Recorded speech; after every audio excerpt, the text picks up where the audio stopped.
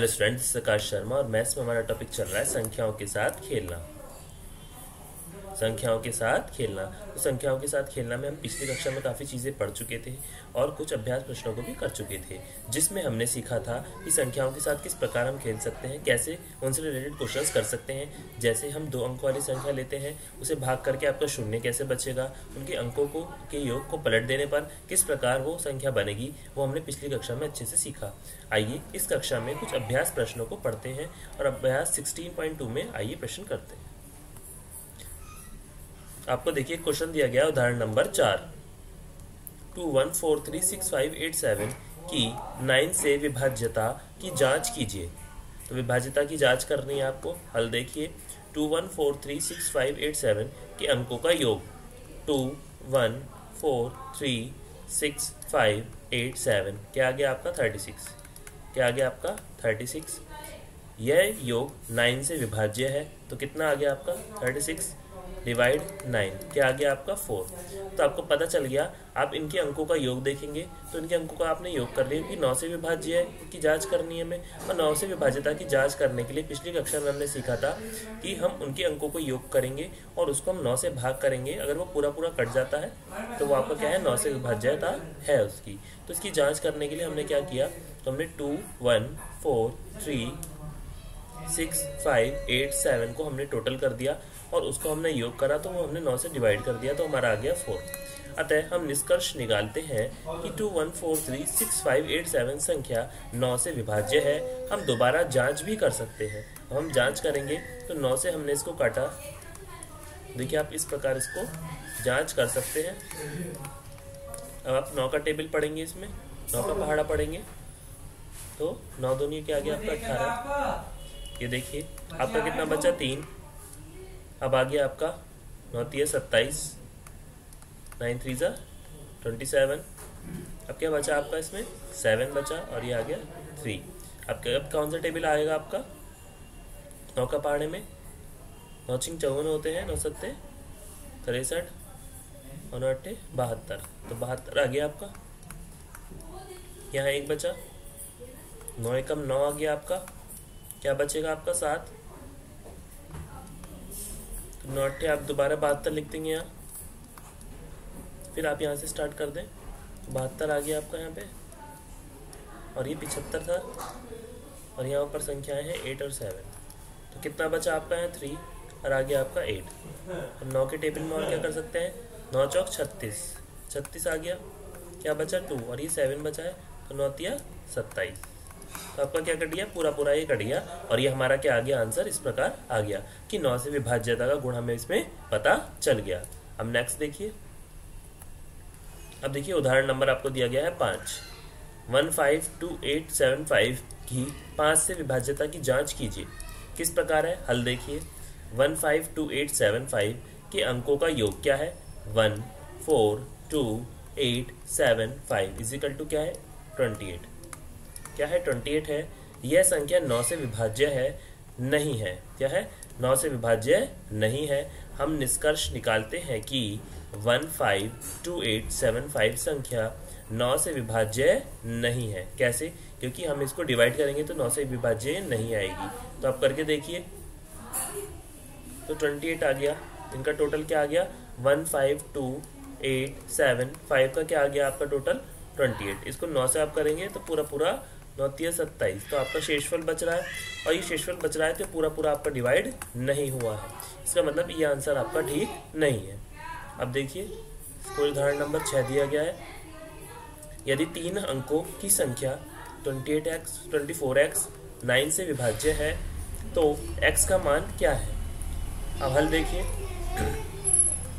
क्योंकि 24x संख्या 9 से विभाज्य है, इसलिए इसके अंकों का योग क्या है? टू, फोर एक्स नाइन से विभाज्य होना चाहिए। अर्थात सिक्स प्लस एक्स ए से विभाज्य होना चाहिए। यह तभी संभव है जब सिक्स प्लस एक्स या तो नौ हो या अट्ठारह हो, क्योंकि एक्स का एक अंक है, इसलिए six plus X plus equal to six plus X equal to nine. और एक्स इजिकल टू क्या आ गया आपका? थ्री ये बात आपकी समझ में आई? तो क्या है? नौ से विभाज्य है और इसलिए इसके अंकों का योग क्या आ गया आपका? टू फोर एक्स नाइन से विभाज्य होना चाहिए और अर्थात क्या है? सिक्स प्लस एक्स ए से विभाज्य होना चाहिए और यह तभी संभव है जब एक्स प्लस ये होगा या नाइन हो या क्या हो? एटीन हो। ये बात आपको समझ में आ गई अच्छे से? अब देखिए आपको क्या दिया गया है, जो एक अंक है, और इसलिए six plus X equal to six होगा, अतः एक्स बराबर क्या आ गया आपका, छह। अब देखिए आप यहाँ पे आता है उदाहरण नंबर सात। Two, one, four, six, five, eight, seven की तीन से विभाज्यता की जाँच कीजिए। अब क्या होगा हल में आपका? Two, one, four, six, five, eight, seven के अंकों का योग क्या आ गया आपका? Two, one, five, six, five, eight seven equal to क्या आ गया आपका? थर्टी थ्री है। जो स्पष्टतः है, आपका तीन से विभाज्य है, और थर्टी थ्री अब डिवाइड क्या आ गया? थ्री क्या आ गया? इलेवन अतः हम निष्कर्ष निकालते हैं कि two one four six five eight seven संख्या तीन से क्या है? विभाज्य है। अब उदाहरण नंबर देखिए। अभी पूरा क्या है? पूरा तीन से क्या हो गया? विभाज्य हो गया क्योंकि थर्टी थ्री था। और तीन करा आपने तो आपका आगे इलेवन तो आपका आगे थर्टी थ्री। ये बात आपकी क्लियर हो गई। और ये आ गया आपका। अब उदाहरण नंबर देखिए फिफ्टीन टू एट सेवन की तीन से विभाज्यता की जाँच कीजिए। अब देखिए, हल देखिए क्या आ रहा है इसका। One five two eight seven के अंकों का योग क्या आ गया आपका? One five two eight seven बराबर क्या आ गया? ट्वेंटी थ्री जो तीन से विभाज्यता नहीं है। और हम निष्कर्ष निकालते हैं कि one five two eight seven संख्या तीन से विभाज्य नहीं है। तो किस प्रकार करा? ट्वेंटी थ्री को आप डिवाइड करेंगे थ्री से तो क्या आएगा? तीन सत्ते, इक्कीस। तो क्या बचा आपका यहाँ पे? टू तो शेषफल बचा है तो आपका पूरा पूरा कटा हुआ नहीं है और ये पूरा पूरा इससे विभाजित नहीं हो रहा है। तो ये इसका विभाज्य नहीं है, ये बात आपकी क्या हो गई? क्लियर हो गई। अब देखिए क्वेश्चन नंबर आपको वन दिया गया है। यदि twenty one y five comma nine का एक गुणज है, जहाँ y एक अंक है तो y का मान ज्ञात क्या होगा? वो ज्ञात कीजिए। अब देखिए, उत्तर नंबर वन दिया गया है, क्योंकि ट्वेंटी वन वाई फाइव नौ का गुणज है। क्या है? एक गुणज है। अतः इसके अंकों का योग विभाज्य होना चाहिए। तो क्या हो गया आपका? टू वन वाई फाइव क्या आ गया? एट प्लस वाई तो आपका क्या बन के आ गया यहाँ पे? Eight plus y is equal to nine और वाई इजिकल टू क्या आ गया आपका? वन तो आपका वाई का मान क्या आ गया आपका? वन आप यहाँ रख सकते हैं टू वन वन फाइव नौ का गुणा है तो कैसे होगा? तो two plus one plus one plus five क्या आ जाएगा आपका? प्लस वन प्लस वन और प्लस फाइव ये भी आपका क्या हो गया? प्लस वन अब क्या आ गया? Two plus one plus one plus five क्या आ गया? नाइन और नाइन को नाइन से डिवाइड करेंगे तो आपका आ जाएगा वन तो ये नौ से पूरा पूरा कट रहा है तो ये नौ का गुणज है। ये नौ का एक विभाज्य गुण है और ये नौ से कट गया है। अच्छा नौ के विभाज्य गुण में आपका क्या आता है कि आपकी सारी अंकों को योग करना पड़ेगा और वो नौ से डिवाइड होता है तो वो उसका विभाज्य होता है। आगे देखिए। दो। अब सेकंड नंबर दिया है, यदि thirty one z five nine का एक गुणज है, जहाँ जेड एक अंक है तो जेड का मान क्या है? तो आप देखेंगे कि इसके दो उत्तर हैं। ऐसा क्यों है? अब देखिए, क्योंकि thirty one z five nine का एक गुणज है, नौ का एक गुणज है, इसलिए इसके अंकों का योग क्या है? नौ से विभाज्य होना चाहिए।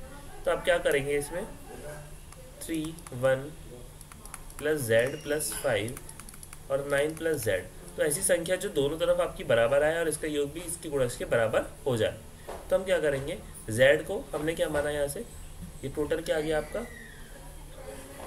Nine plus z is equal to nine और z is equal to zero if thirty three plus one z plus five is equal to nine plus z तो क्या आ गया? Nine plus z is equal to eighteen तो क्या आ गया? Z is equal to zero और ये आ गया z is equal to nine zero और क्या है? नौ. इसके दो उत्तर हैं. ज़ीरो और नाइन इसके दो उत्तर हैं.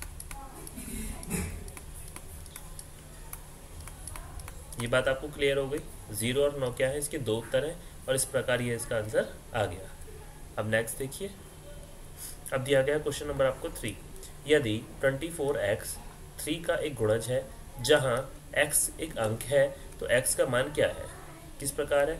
क्योंकि 24x 3 का एक गुणज है, इसलिए इसके अंकों का योग क्या आ गया आपका six plus x comma three का एक गुणज है, अर्थात एक्स प्लस सिक्स निम्नलिखित में से कोई एक संख्या होगी। ये बात आपकी समझ में आ गई तो क्या हो गई? Zero, three, six, nine, twelve, fifteen और एटीन। ये बात आपकी क्लियर हो गई कि इनमें से क्या होगा? एक संख्या होगी जिनमें zero, three, nine, six, twelve और फिफ्टीन होगी। थ्री के टेबल की कोई संख्या होगी? क्योंकि एक गुणज है। परंतु चूँकि एक्स का एक क्या है? इसलिए six plus x is equal to क्या है? सिक्स। या x plus six is equal to क्या है नाइन और x plus x is equal to क्या है ट्वेल्व या x plus six plus x is equal to क्या है फिफ्टीन हो सकता है? अतः x is equal to zero या थ्री या सिक्स या नाइन हो सकता है। इसलिए एक्स का मान इन चारों विभिन्न मानों में से कोई एक हो सकता है। ये बात आपकी क्लियर हो गई।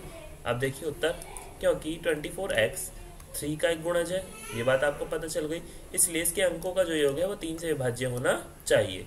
तो आपने क्या किया? Two, four x is equal to x three six plus x क्योंकि एक्स क्या है? एक्स का एक अंक है। अब six plus x is equal to six तो क्या आ गया? X is equal to zero six plus x is equal to nine तो क्या आ गया? X is equal to three six plus x is equal to क्या आ गया? ट्वेल्व तो एक्स इज़ इक्वल टू क्या आ गया? Six six plus x is equal to क्या आ गया फिफ्टीन? तो एक्स इज़ इक्वल टू क्या आ गया आपका नाइन। तो एक्स के चार मान क्या है? ज़ीरो, थ्री, सिक्स और नाइन हो सकते हैं। तो ये एक्स के चार मान हो सकते हैं आपके। ज़ीरो, थ्री, सिक्स और नाइन हो सकते हैं। बात आपकी क्लियर हो गई अच्छे से। अब देखिए आपको क्वेश्चन नंबर फोर दिया गया है। यदि thirty one z five three का एक गुणज है, जहाँ जेड का एक अंक है तो z का मान क्या हो सकता है? या फिर, क्योंकि thirty one z five three का एक गुणज है, इसलिए इसके अंकों का योग क्या है? तीन से विभाज्य होना चाहिए, क्योंकि z एक अंक है, और क्या आ गया आपका? Three plus one plus z plus five is equal to nine plus z nine plus z is equal to nine और z is equal to zero अब देखिए three plus one plus z plus five is equal to nine plus z और आपका क्या आ गया? Nine plus z is equal to twelve यहाँ पर जेड इजिकल टू क्या आ गया आपका? थ्री अब आगे देखिए। अब इफ़ अगर हम लेते हैं three plus one plus z plus five और नाइन प्लस जेड और nine plus z is equal to fifteen और जेड इजिकल टू क्या आ गया? Six if three plus one plus z plus five is equal to nine plus z आ गया। तो आपका आ गया nine plus z is equal to eighteen और जेड इजिकल टू क्या आ गया आपका नाइन अब क्या है? जेड के चार मान जेड के चार मान क्या है? ज़ीरो थ्री सिक्स और नाइन हो सकते हैं। ये बात आपकी क्लियर हो गई? कि जेड के कितने मान हो सकते हैं आपके? ज़ीरो, थ्री, सिक्स और नाइन हो सकते हैं। ये बात आपकी क्लियर हो गई यहाँ से? अब आइए, आगे देखते हैं। तो आपने आज क्या सीखा? कि आप क्या कर सकते हैं विभाज्यता के मान? जैसे अगर आपका दो का विभाज्य है तो आप क्या करेंगे? उसके जो जो लास्ट वाली संख्या होगी। लास्ट वाली संख्या दो का गुणज होनी चाहिए। दो का गुणज होनी चाहिए। अगर आपका तीन का विभाज्यता का नियम है, तीन का विभाज्य नियम तो क्या होगा? सभी अंकों का योग, सभी अंकों का योग इससे डिवाइड होना चाहिए तीन से। इसी प्रकार नौ का विभाज्य का नियम है। नौ का विभाज्य नियम।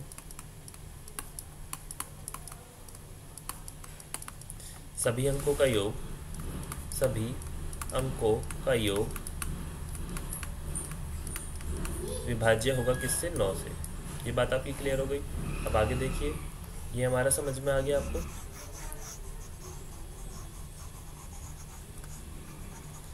अब देखिए हमारा पाँच से विभाज्य का नियम।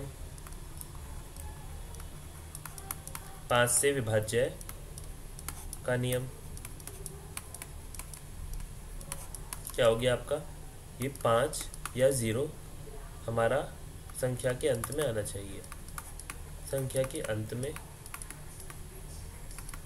होना चाहिए। तो ये क्या होगा? पाँच से विभाज्य हो जाएगा। ये बात आपको क्लियर हो गई। आगे का हम नेक्स्ट क्लास में सीखते हैं। आज के लिए थैंक यू